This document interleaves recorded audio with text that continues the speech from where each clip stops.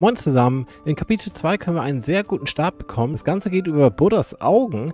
Wo ihr alle Augen findet und was ihr dann später mit den Augen machen müsst, das möchte ich euch in diesem Video zeigen. Aber erstmal, welchen Stab können wir bekommen? Das ist der Steinstab mit Wolkenmuster. Diesen kann man dann am Ende craften. Der hat 60 Angriff und 30 Verteidigung und erhöht noch den Schaden von aufgeladenen schweren Angriffen. Guti, wo finden wir jetzt aber alle Buddha-Augen? Hier starten wir, wie gesagt, im Kapitel 2 bei der Schreckensklippe und da dann beim Sturmwindversteck. Von diesem Portpunkt aus können wir insgesamt vier Stück einsammeln und den ersten, da drehen wir uns einmal rum und der ist hier. Also da könnt ihr dann mit interagieren und die ersten Buddha-Augen holen. Dann drehen wir uns wieder um, da ist wieder der Portpunkt. Wir laufen hier geradeaus weiter. Hier links einmal hoch Vorbei, upsala, an den Gegnern. Biegen hier links einmal hoch weg, halten uns rechts. Und hier ist dann die nächste Statue, wo wir die Augen herholen können. Dann drehen wir uns wieder um, gehen nach vorne über die kleine Steinbrücke rüber.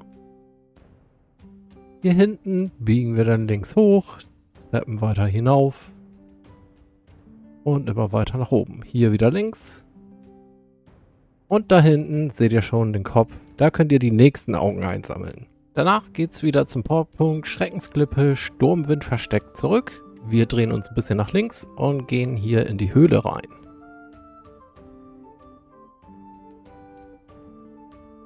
Und dann gehen wir hier links nach oben hin. Da hinten können wir dann die vierten Augen einsammeln. Nächster halt in Kapitel 2 ist wieder Schreckensklippe, diesmal aber Steinruh-Ebene. Und hier können wir die letzten beiden einsammeln. Einer, den sehen wir da vorne schon. Der befindet sich hier. Da sind die fünften Augen. Und jetzt können wir uns einmal wieder umdrehen. Hier ist ja wieder der Portpunkt. Wir drehen nach rechts in die Höhle rein. Gehen hier nach oben hin.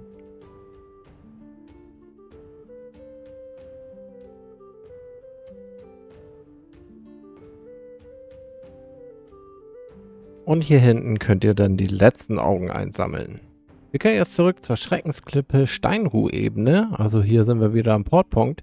Jetzt müssen wir Richtung Boss. Da geht es hier vorne links einmal durch den Bogen durch.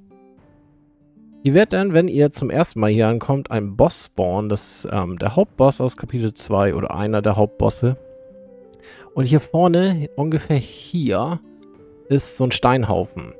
Ihr könnt die Augen hier direkt schon reintun. Da kommt dann ein anderer Boss, also da sind dann auf einmal zwei Bosse. Der zweite, da wo ihr die Augen reingetan habt, wo ihr, oder das, was ihr jetzt auch seht, ich habe das gemacht, ich habe erst den Boss besiegt und dann den nächsten beschworen aber ihr könnt das gleichzeitig machen.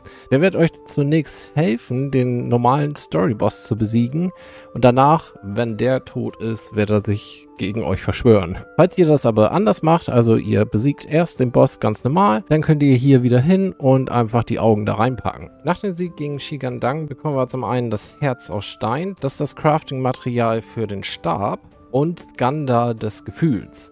Ganda des Gefühls, das brauchen wir später, wir wissen aber noch nicht ganz genau, wofür, aber das wird sicherlich in irgendeiner weiteren Quest benötigt. Mit dem Herz aus Stein könnt ihr zum Altar gehen und dort dann die Waffe schmieden. Guti, das war's aber auch mit einem kleinen Video zu dem versteckten Boss und der tollen Waffe. Habt noch einen schönen Tag und bis zum nächsten Mal. Tschüss!